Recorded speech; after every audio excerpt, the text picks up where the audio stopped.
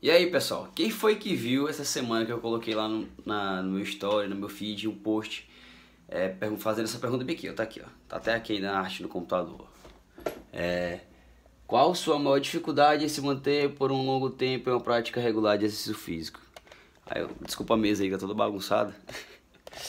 Eu coloquei lá e pra gente interagir eu é, descobri um pouco sobre qual é a maior dificuldade de vocês, que eu percebo que existe essa dificuldade em passar muito tempo, deixa eu ajeitar aqui esse pedestal, em passar muito tempo é, numa prática esportiva, no exercício e tal. Tem, tem muita gente que tem essa dificuldade.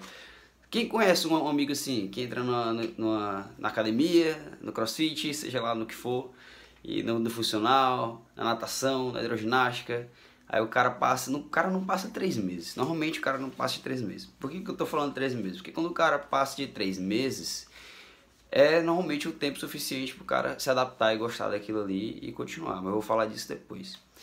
Então, aí eu botei lá, qual é a sua maior dificuldade? E surgiram algumas interessantes. Eu estava aqui lendo, estudando e me veio na cabeça, de vontade de responder aqui. Vamos lá. É, primeiro, eu estou falando aqui com pessoas que têm, que sentem essa necessidade. Porque tem gente que fala assim, ah, cara, vamos praticar exercício físico, você pode passar um dia mostrando para ele que aquilo ali é importante, qual é o benefício que dá, não sei o que para saúde, pá, mostra estudo, mostra os caramba quatro, o cara, foda-se, não quero, cara. Eu não quero fazer, não gosto, acabou. Inclusive teve, teve uma resposta lá do foi de um amigo meu, do Michel, ele botou: "Qual é a sua maior dificuldade?" O exercício físico. Ele não gosta, então aí complica. Mas eu já estou pressupondo que quem está me assistindo aqui são pessoas que já perceberam essa necessidade, tem vontade, tem uma vontade de começar, mas tem uma certa dificuldade, alguma coisa está impedindo ele de continuar. E eu acredito que para a pessoa se motivar em tudo na vida, são, é, tem dois, duas principais coisas que te levam à ação. Primeiro é a necessidade. Você tem a necessidade realmente de fazer aquilo, você tem que fazer, vai lá e faz. E a outra é mais importante do que essa, porque é muito mais forte a necessidade ela, ela normalmente faz você começar a agir. Essa outra faz você continuar, que é uma motivação mais intrínseca, que vem de dentro. É uma vontade, aquela, sabe aquela vontade terrível de fazer alguma coisa que ninguém te segura, que às vezes você não tem nem motivo para fazer, assim, motivo claro de, de ter necessidade e tal, sabe o que você quer fazer. Se você for sondar para escutar essa vontade aí, vai terminar em uma coisa: vocação aquilo que você nasceu para fazer, é o sentido da sua vida. Então a vocação ela passa, quebra tudo. Quebra o prazer, quebra a necessidade. Às vezes você não precisa, você não está sentindo prazer em fazer, mas você faz porque você nasceu para fazer aquilo ali. E acabou. Então, é, para você. É, o, o, então, falando do exercício físico lá, né? Que o, que o Michel colocou. O exercício físico. Eu acredito que todo mundo encontra alguma coisa que gosta de fazer. Vai encontrar alguma coisa que gosta de fazer, gosta de se mexer. Porque o corpo humano foi feito para se mexer, bicho. Se tu não, não, não gosta de se mexer, como assim? O corpo humano foi feito para se mexer. Ninguém consegue, se o cara ficar só na cama, ele vai se definhar todo, o músculo vai atrofiar. Ninguém foi feito para ficar parado. Você tem que se mexer em alguma coisa. Então, procure alguma coisa que você goste para continuar. E aí, o, é, uma das coisas que você tem que, que fazer é tentar passar esses três meses aí, que, que são o começo, que dá mais dificuldade, para criar o hábito. Aí tem gente que fala de técnicas para criar hábito, 21 dias é o mínimo para você que, que você tem que, que ter, passar em alguma coisa para criar aquele hábito, se acostumar. Pode ser, não sei. O que eu vejo, pelo menos no exercício físico, é que normalmente, quando a pessoa passa de três meses tanto é, é o mínimo de tempo que a pessoa começa a ter resultados visíveis da, daquele treinamento, se ela realmente teve continuidade nesse tempo. Aqui a gente está falando de continuidade. E que ela se acostuma. Com três meses, o corpo já começa a se acostumar. Se você para e deixa de um dia, é, você já sente falta com, com esse tempo. Então você tem que tentar criar o hábito. Mas para você conseguir criar esse hábito, você tem que escolher uma atividade que lhe agrade. Não adianta. Você ter, sentir só nessa, ah, eu tenho que fazer esse exercício físico porque eu tô diabético, porque, sei lá, eu tô, no, tô muito sedentário, tô com dificuldade de respirar, não consigo, tô muito gordo, tô, já tá, alguma coisa está me atrapalhando no meu dia a dia, não tenho vigor para nada, tenho que fazer exercício físico. Mas só isso, como eu, como eu falei antes, só a necessidade não vai fazer você continuar. Vai ter um dia que você fala, rapaz, eu não quero ir para essa academia, sei lá, eu não quero ir para esse crossfit, que isso é muito ruim. Não tem que é fácil você ir. E, então você tem que encontrar um, alguma coisa que, que realmente você gosta e sinta um prazer de ir. Porque isso faz parte, também você tem que ter um, um prazer no exercício físico. Faz, faz muito, tem que ter, faz muito parte. É, e aí você tem que ver, por exemplo, qual o, o que vai te ajudar a escolher um exercício que, que se encaixa mais com você, né? Normalmente, normalmente, isso não é regra, mas normalmente, tem gente que é muito ativa, hiperativa, é, espiritada e tal, fala demais. Essas pessoas normalmente gostam de atividades também mais ativas, né? Por exemplo, a academia para essas pessoas normalmente, de novo, não é a regra, mas normalmente as pessoas não se adequam muito à academia, por quê? Porque é monótono. Porque você tem que ficar ali, é muito regradinho, é coisa para quem tem realmente um psicológico mais centrado e tal. A galera que vai pro crossfit muda muito pro crossfit esses tipos de pessoas. Ah, eu acho a academia muito monótono, é muito chato. Mas é, eu vou pro crossfit, porque o crossfit é mais dinâmico, todo dia é um treino diferente e tal e pá. Agora tem gente que gosta desse negócio de ter de seguir ali, de ficar, de fazer um exercício concentrado e trabalho de mente, ficar meditando, é aquela coisa, aquele treino solitário que é da academia. Tem gente que gosta, é o jeito da pessoa. Então essa pessoa não vai pro CrossFit, não adianta também. Ela tem que ficar lá. Lá é o melhor lugar para ela. É, outra coisa que colocaram foi lesão.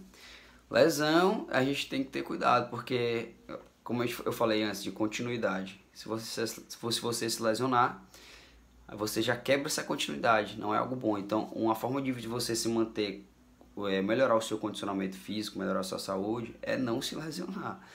Para não se lesionar, você tem que fazer um exercício, procurar um profissional bom para lhe orientar, fazer o exercício com cuidado, com cautela e ser forte. Não existe coisa melhor para prevenir lesão do que ser forte. Se você tem musculatura forte que protege suas articulações, o tendão e tudo, você os tendões, ligamentos, você vai prevenir lesão com certeza. Agora isso aí é um ponto, ó, uma linha bem tênue, porque o cara fala, ah, eu não vou exagerar demais para não lesionar, tá certo.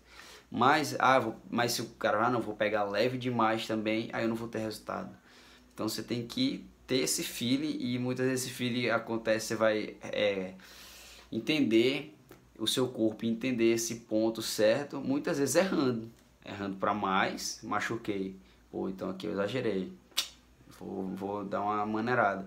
Ou então para menos. Pô, tô pegando leve demais, não dando resultado de nada e tal. Tô ficando com a musculatura fraca, etc. E aí você acerta esse ponto, mas é difícil e é sempre um desafio para quem treina.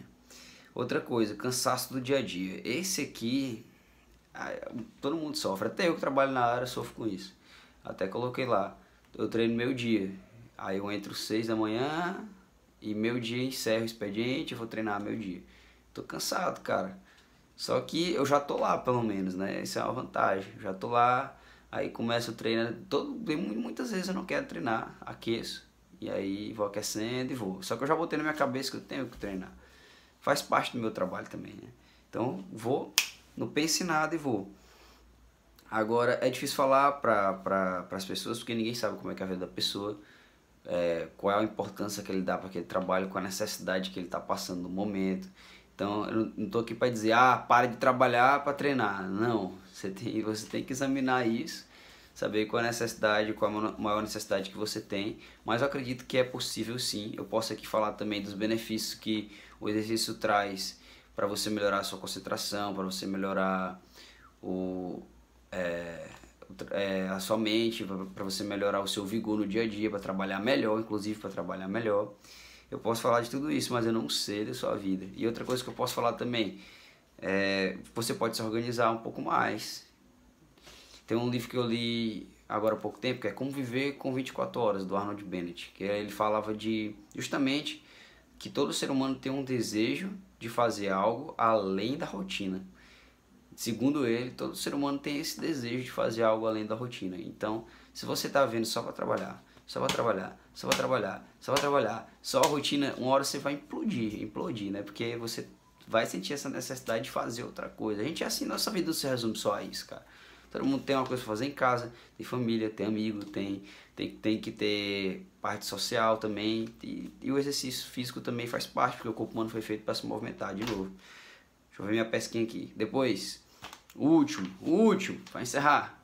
Incentivo. Tem um cara botando, ah, me falta incentivo. Pô, meu irmão, isso é foda. Porque, tipo assim, se o cara tá esperando que alguém incentive ele, rapaz, tá lascado, meu irmão, tá lascado. Às vezes até tem, no CrossFit a gente tem muito isso. Como é um, um treino, uma aula em grupo, normalmente a galera gosta de se ajudar pra caramba. Mas isso aí é que nem eu falei lá no começo, é, é igual a necessidade. Um incentivo externo, alguém que te, que te motiva, é, o incentivo externo pode ser também um objetivo que você quer alcançar, eu quero perder 5 quilos. Um objetivo externo também pode ser é, um campeonato que você vai participar, algum objetivo. Mas isso passa logo. Tem um, um prazo. Você percebeu que tem um prazo de, de validade? Ah, vou fazer uma dieta. Tem um prazo de validade. Três meses, seis meses. Ah, eu vou pro campeonato. Ah, daqui a três meses. E aí, quando chegar lá, ah, eu quero perder 3 quilos. Passou, passou, perdi 3 quilos. E agora, o que, é que eu vou fazer? Aí você vai ter que ir atrás de outro objetivo externo para poder continuar. Só que existe uma motivação muito mais forte do que essa, que é aquela que eu falei no começo, que é a motivação intrínseca, que vem de dentro, que você sente vontade de fazer aquilo ali mesmo. E isso, a continuidade que eu falei, ajuda muito. O prazer no, no exercício ajuda muito. Pergunta para quem já treina há 10 anos. Ah, o cara, ah, eu treino há 10 anos já. Pergunta se ele vai, se ele vai para academia porque ele por, algum incentivo, porque alguém vai lá todo dia. Tem 10 anos que alguém chega lá, vai moleque, levanta da cama, vai treinar. Tem 10 anos que ele chega lá na academia, bora cara, puxa esse ferro. Não, porra, o cara já vai por, motiv motivação dele mesmo. Ele faz negar outras coisas. Fala, ah, bora comer pizza. Vou não, tá na hora da academia. Ou tá na hora de ir pro treino do boxe. É, vamos fazer, não, não vou, porque tá na, o cara já vai por motivação é, intrínseca, motivação dele, uma automotivação. E isso, o tempo de treino ajuda pra caramba. O cara que tem 5 anos, ele já é acostumado a fazer aquilo ali, bicho. É. No dia que ele vai pra academia, ele fica doido, parece que faltou alguma coisa no dia dele. Realmente faltou. Ele já acostumou. Tu, pronto, tu não almoça todo dia? Tu almoça todo dia, porra. Então, no dia que tu não almoça, parece que não é estranho, você fica cansado. Aí meu dia não foi, foi diferente, meu dia, porque eu não almocei. Né? Então é a mesma coisa. O cara, um dia que, não, que treina 10 anos, um dia que ele não treina é que nem não tem almoçado. É a mesma coisa. Você acostuma. Você vai, já começa aí simplesmente por prazer e por costume. Então é isso. É, um abraço. Até o próximo vídeo. Fiquem ligados lá no Instagram. Quem não me segue, me segue. Que a gente vai conversar melhor lá e discutir. Abraço!